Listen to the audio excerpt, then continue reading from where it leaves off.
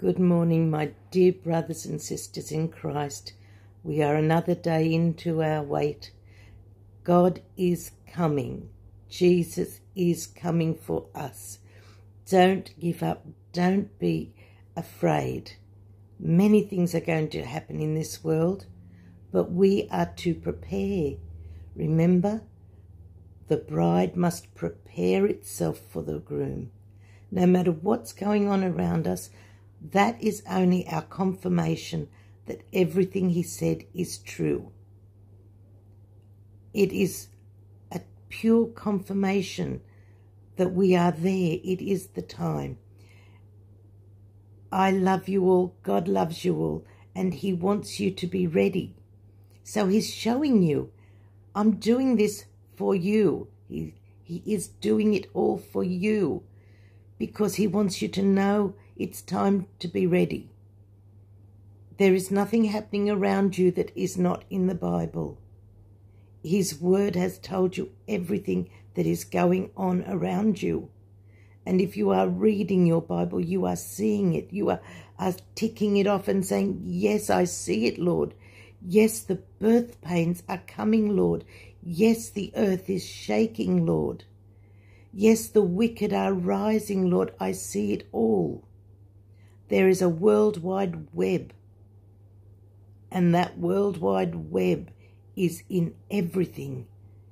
It is the, what do they call it? The something of all things? The internet of all things. It is throughout everything.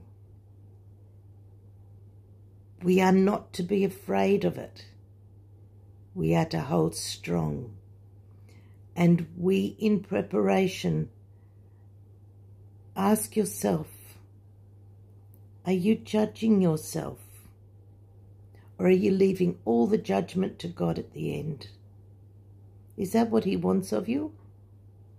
In your preparation, does He want you to notice the spots or does He want to wait you to wait, leave them on and come to Him as you are, as many churches say? But is that what the Bible said? No. Is that what God told you? Don't look at, at yourself and don't clean yourself up? No. He told you if you have an unruly tongue, control it. You have a traitorous heart, suppress it. You have wicked thoughts always, conquer it. He didn't say glide along the path to righteousness, did he? Are you floating on the path? No. He said take up your cross and go. That means you're carrying a burden. And the burden was, you are, your cross is you becoming as Jesus. You are dropping off when he dropped blood you are dropping off your sins. His blood covered your sins. He never promised you that it would be easy. He said you will have torment. People will hate you. People will come after you. The evil will come for you. But you are to shake that off in his name. He even said, and this is a wonderful thing to remember, I, I'm going to read it. I know it's just a small verse, but I'm going to read it to you because this is something so important to your preparation for where we are now.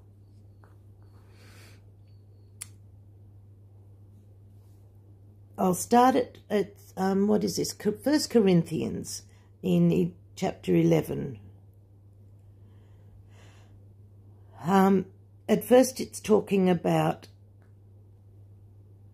doing the communion, right? And he said, because you have to think, are you doing it for him or are you doing it for you? Are you doing it in greed?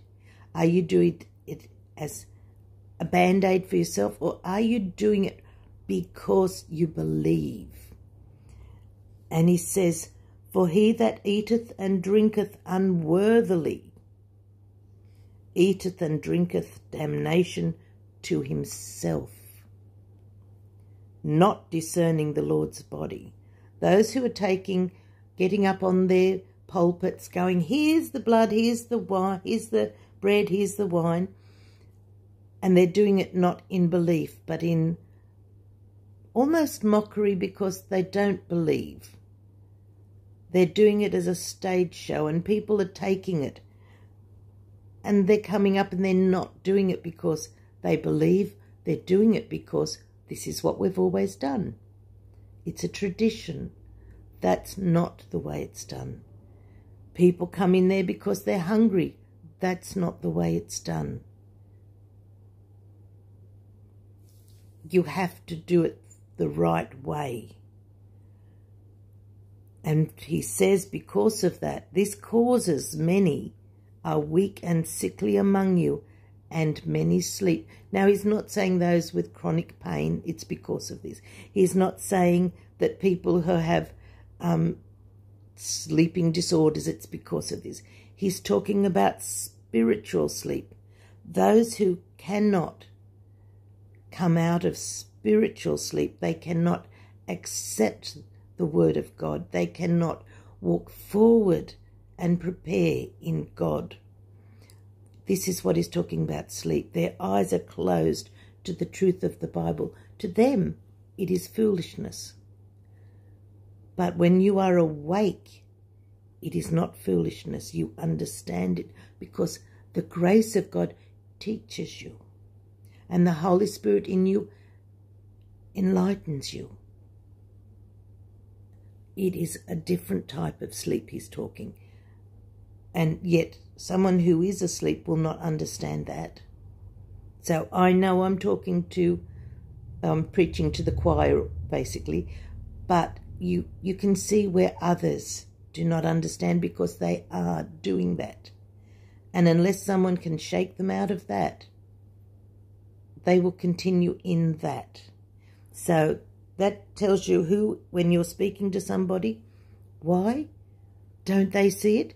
Because they are asleep, because they have taken it in not in belief. They have taken it in vanity, in vain. But this is the important thing for us now in our in our preparations for the coming event. Jesus said, prepare the bride. This is a preparation that is so important. This is in His words, and it is to teach you how to prepare now. We're at the tricky end. He is coming so, so soon. I don't think even I understand how soon this is. It is, in God's eyes, really, really soon.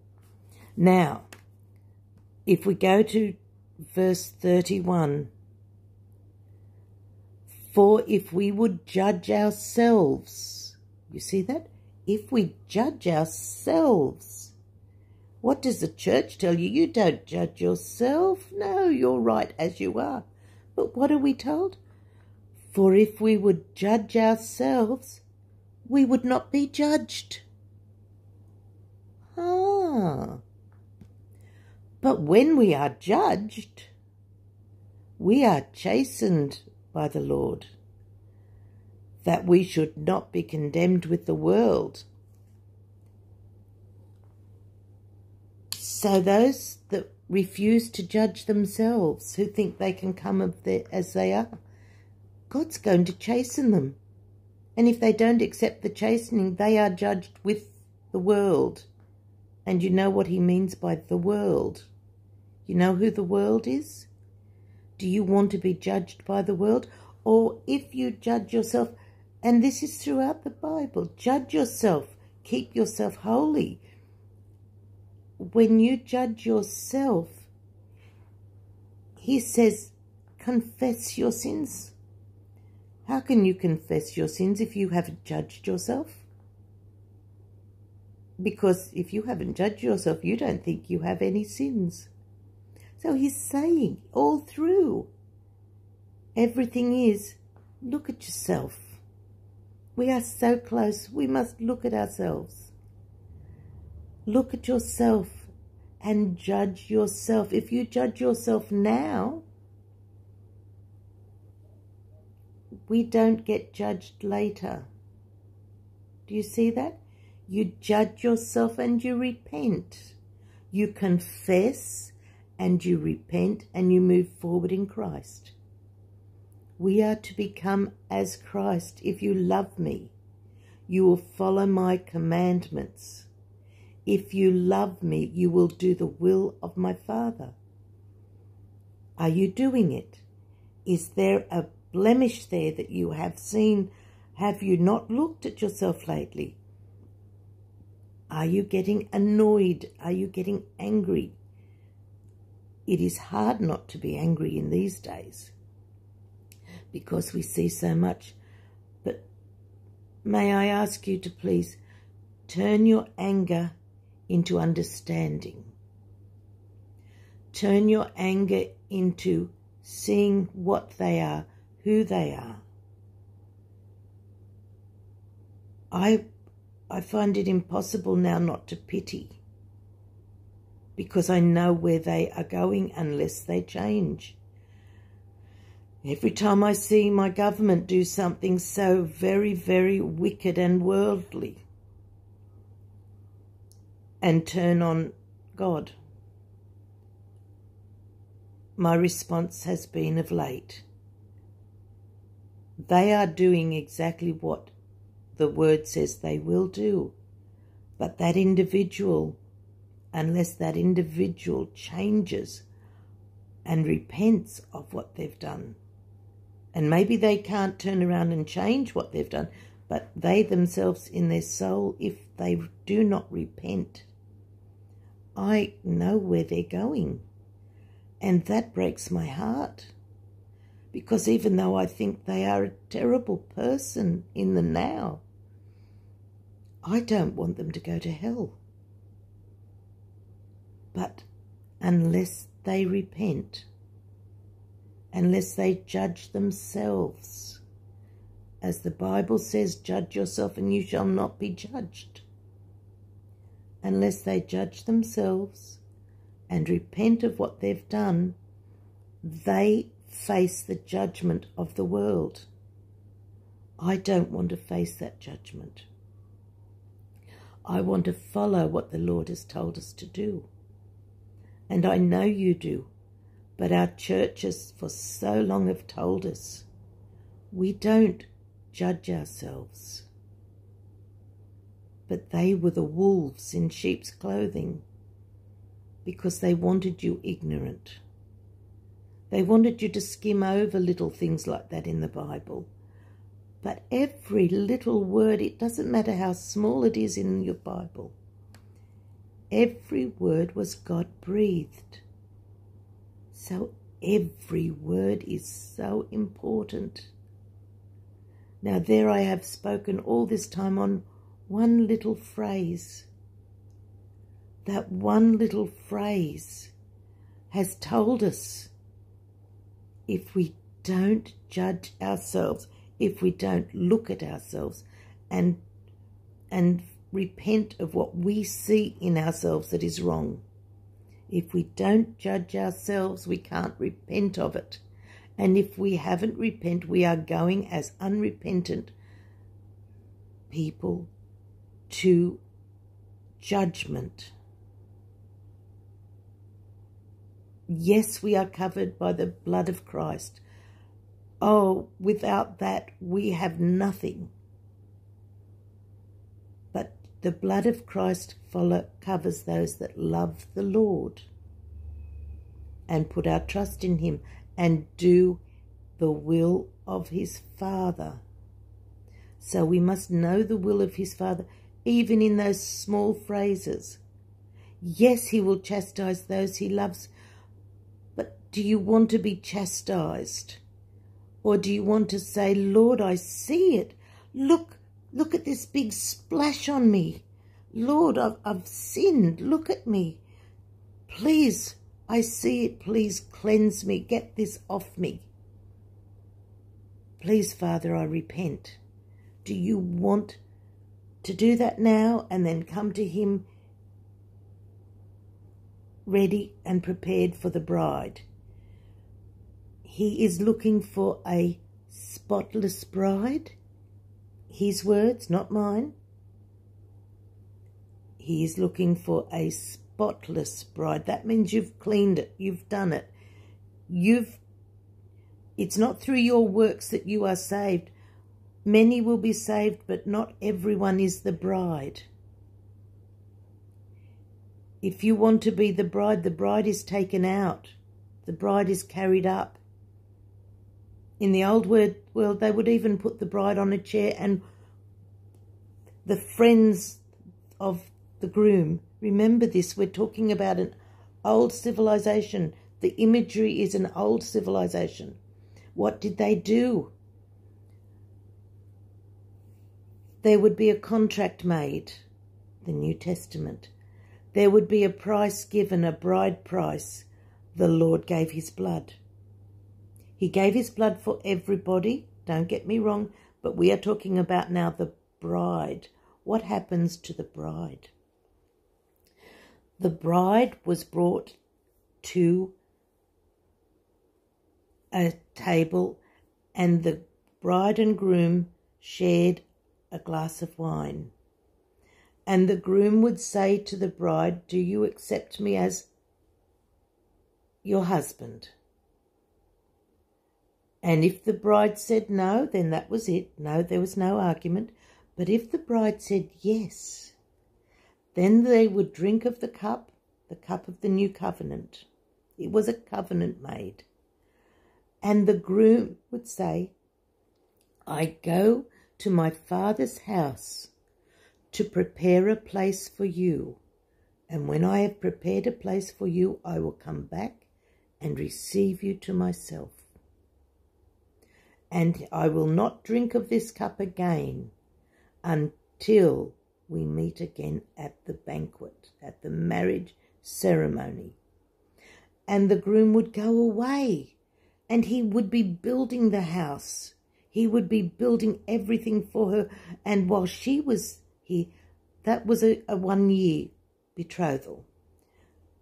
One year he would build the house.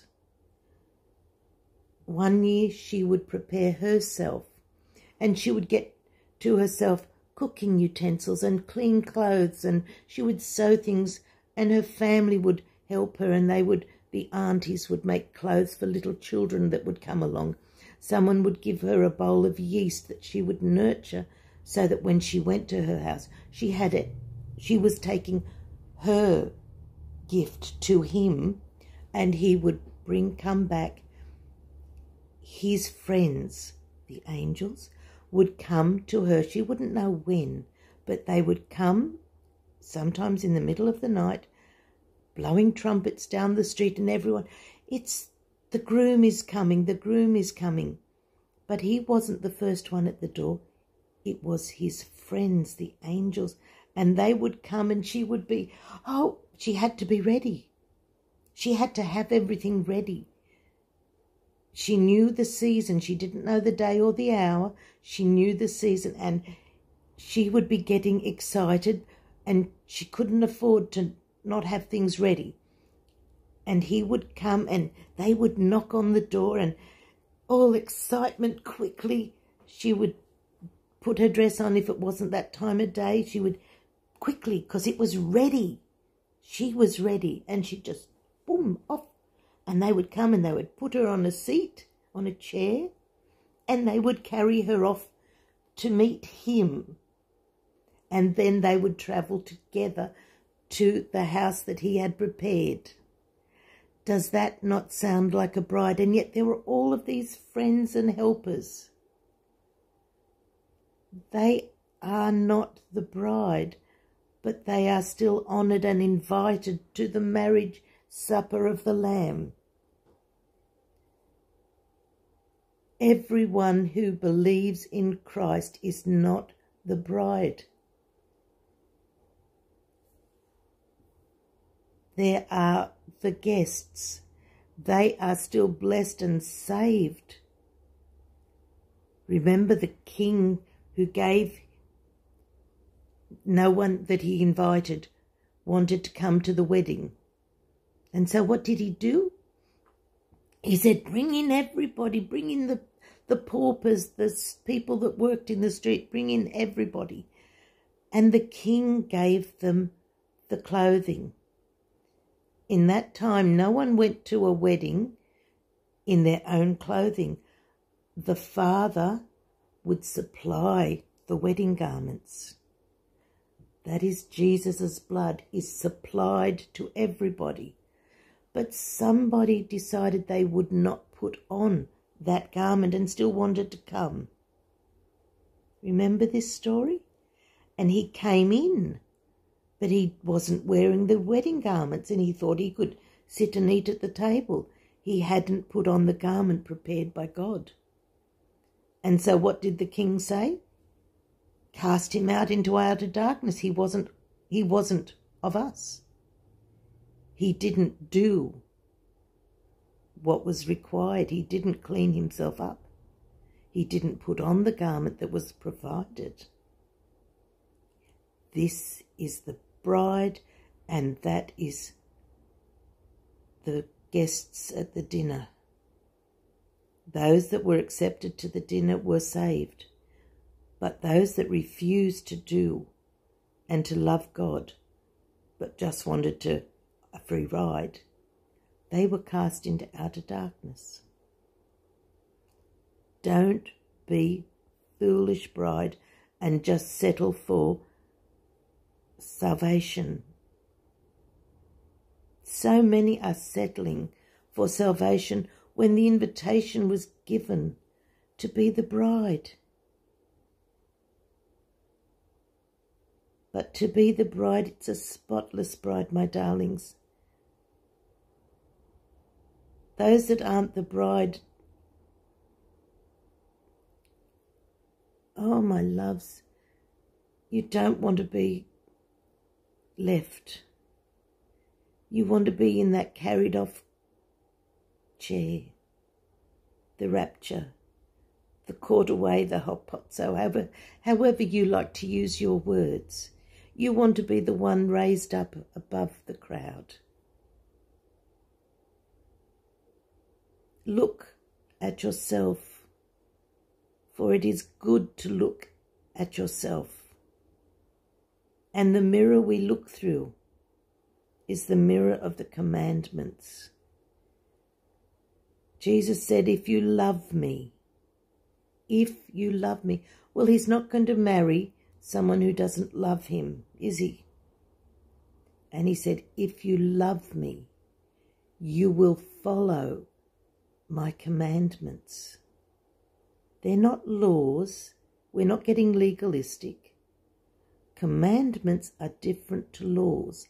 Laws are petty, they're controlling.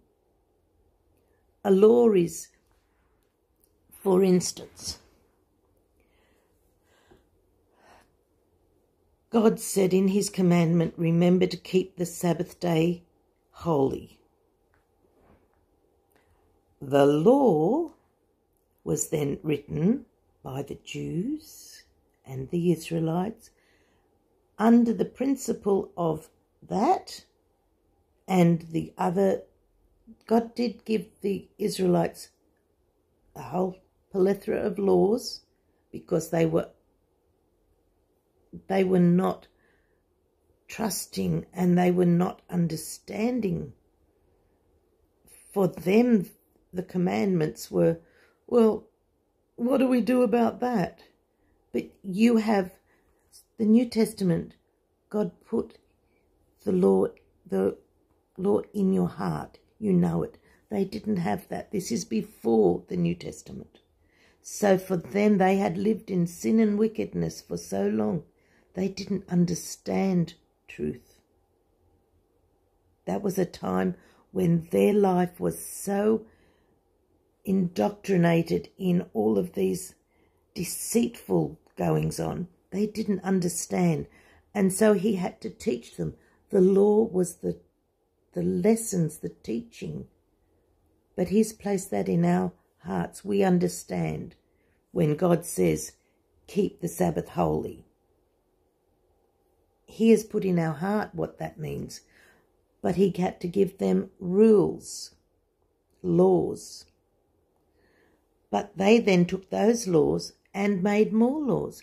So they turned a small law into a big law where you couldn't walk away from your house for more than so many yards and you had to have a string and if you went past that string you couldn't if if you wanted to talk to that person over there they had a string to come here and you had a string to go there but you couldn't go and meet that's not a commandment of God that was a law the laws were restraining constraining God said keep it holy so you know keep it holy he said, Remember the Sabbath day. You remember the Sabbath day. That is a commandment. He said, Don't murder. And some people say he said, Don't kill. He didn't. He said, Don't murder. Wartime, people kill, yes. But even in war, you don't murder somebody. You don't murder. He said, Don't covet your neighbour's possessions. That includes his wife, his horse, his ass, his, his house, his car. You don't covet that. And you go, okay, yeah, don't covet. But you don't need a law to say, well, I don't go within five feet of that and I don't look at it. I can't look, cover, we've got to cover that up. Oh, I can't covet the, the man's wife. She better be covered up. We don't do that.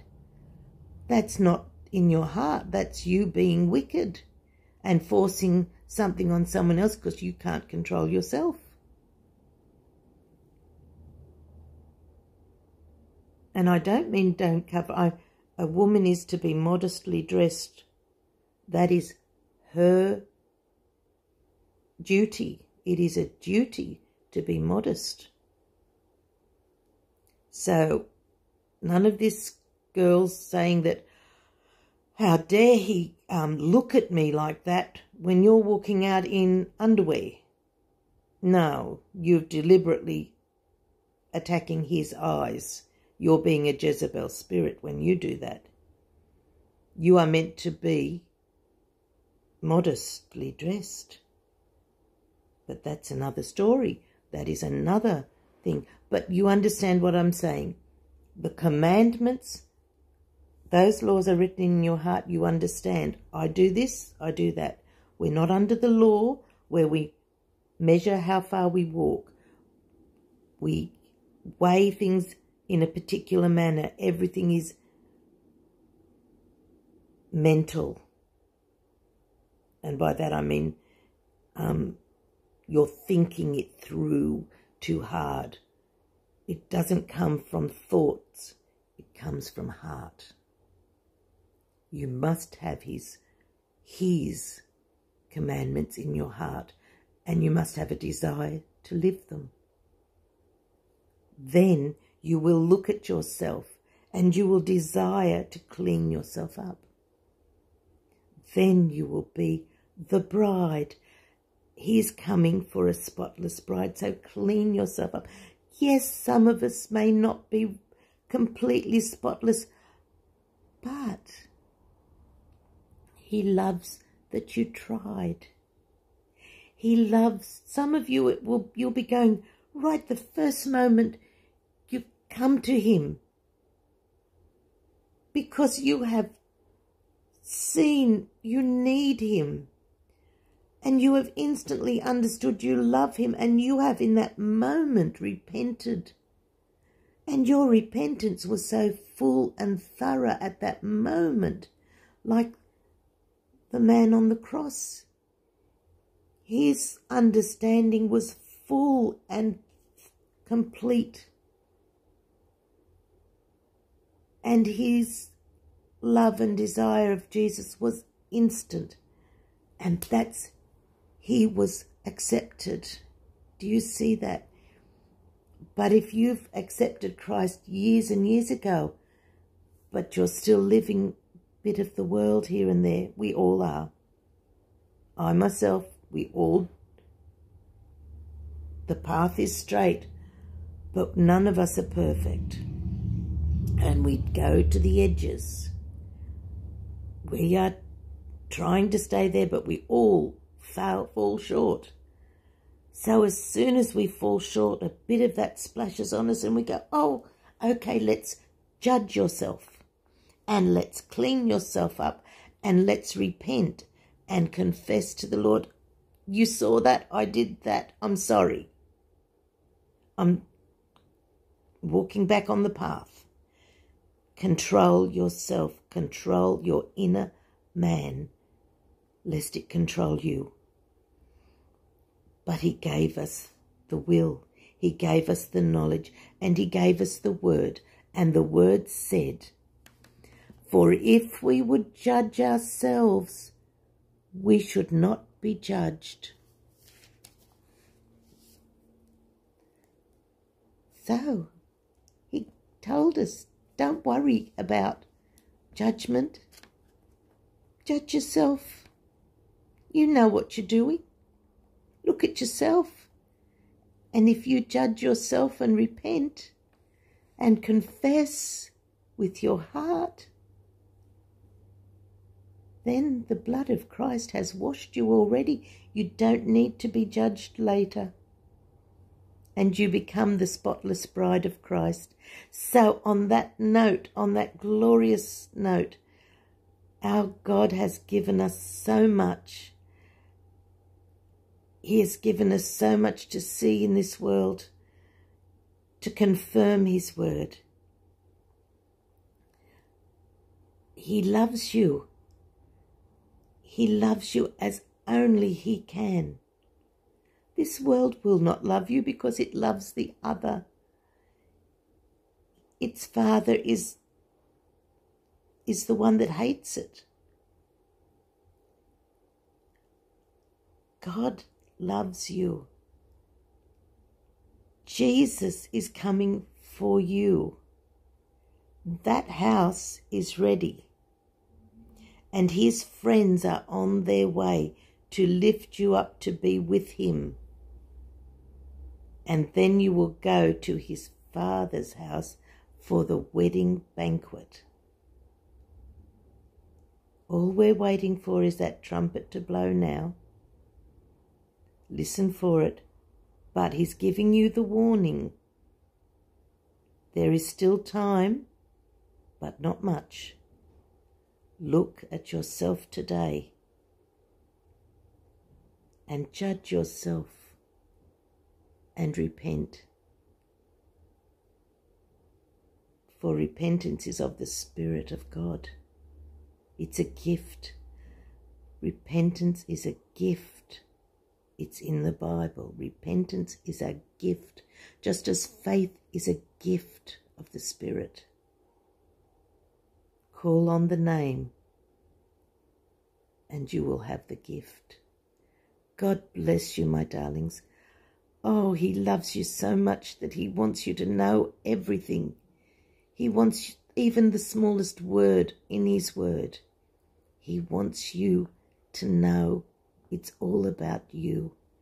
His love for you, it is a love letter. This is a love letter that tells you who he is. He is saying, this is me. I love you this much. God bless you. God be praised. It is all about his word. It is all about him. It is all about him. It's not you and me that are the ones because we're doing nothing. He did it all, but he told us how to get there. He showed us the path. May we walk that path with grace and may we walk that path in love, for he is love. God be with you all. I love you all. And I pray every day for you all. I ask that you pray for one another. We have those amongst us who are going through terrible times of illness, loved ones who are going through great illnesses. We have friends amongst us who are going through financial distresses, through environmental distress, and through persecution due to the love of Christ. pray for all. Pray that God will raise them up on that day. And we will be there together. I love to meet you. I want to give everybody the biggest hug. I'm a hugger who has not been allowed to hug for a long time. So I've got a lot of hugs pent up inside of me.